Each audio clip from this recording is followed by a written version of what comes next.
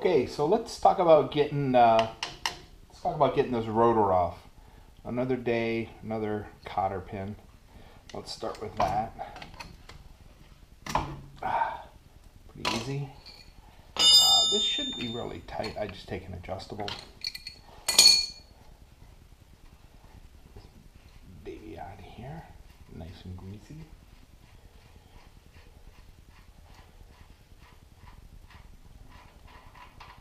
And with that, let's slide on. Might as well take a look here at this bearing. Looks okay. Um, it's been replaced over the last 48 years, once or twice. I remember doing it when I was a kid. So, um, anyway, we'll do that again. And that, oh, it's heavy. And we'll take that off. And uh, ready to move on to the next step of our disassembly. All right, so in getting the, uh, the shock out so we can put the spring compressor in, uh, we're looking at the top mount of the shock right here.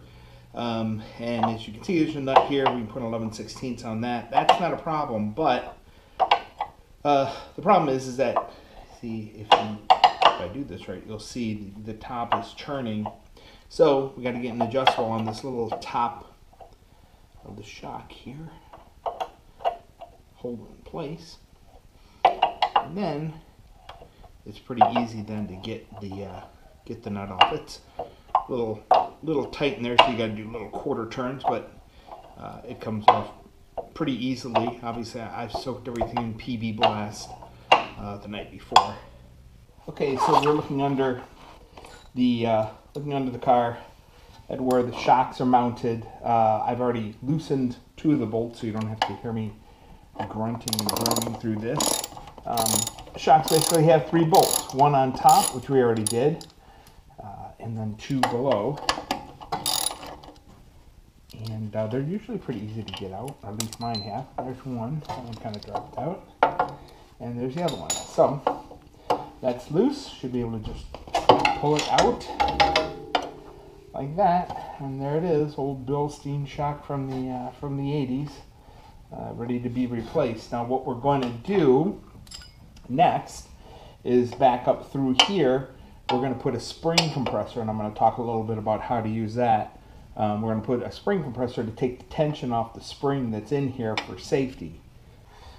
Okay, so to get this spindle off here, um, couple of things.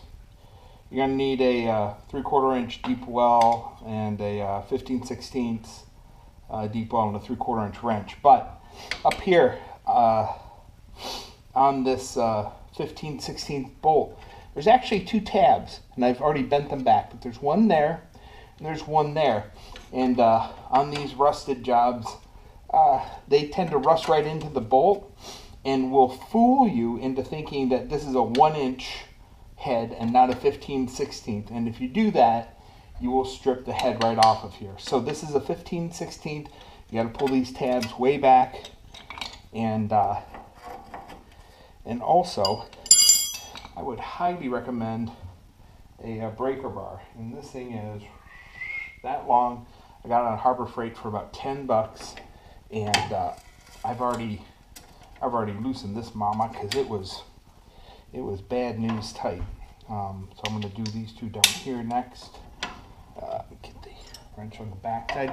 So on the back side, which you can't see, um, there are uh, two uh, pretty respectable nuts back there. So let's see how this goes.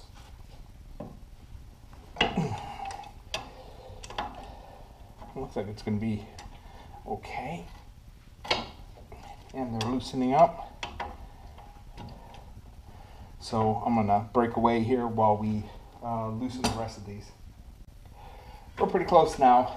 A lot of grunting and groaning, but uh, we've got that off.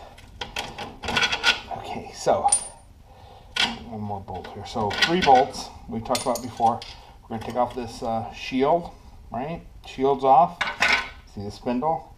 And then here's uh, this bracket that uh, uh, was there and then also there. So that's off. And then in the back here we have uh, an additional bracket back here. So now we've got a little more room that we can get to this uh, spring here in the back.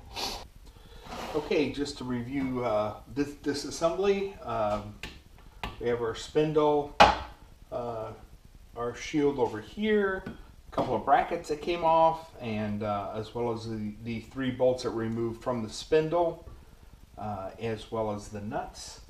And uh, that's pretty much it on this one.